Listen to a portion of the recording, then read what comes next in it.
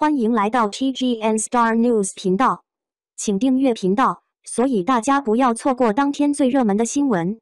我们今天的时事通讯包括以下内容：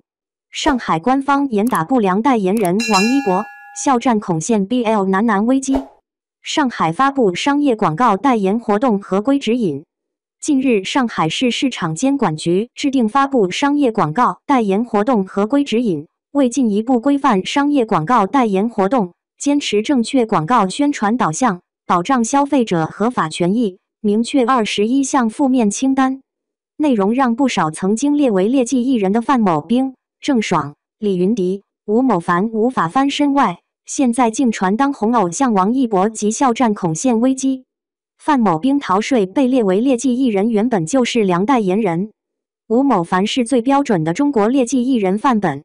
该份指引提到，将利用发生违法犯罪、违反公序良俗等行为的明星艺人，宣扬拜金主义、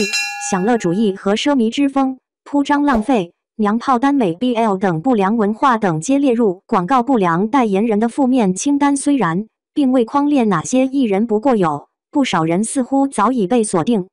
王一博及肖战是新一代男男 CP，相当危险。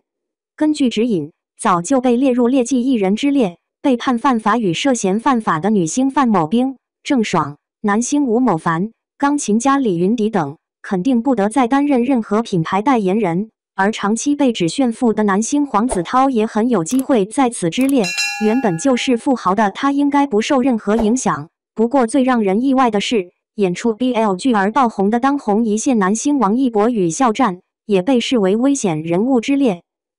感谢您观看视频，请订阅我们的频道以支持我们。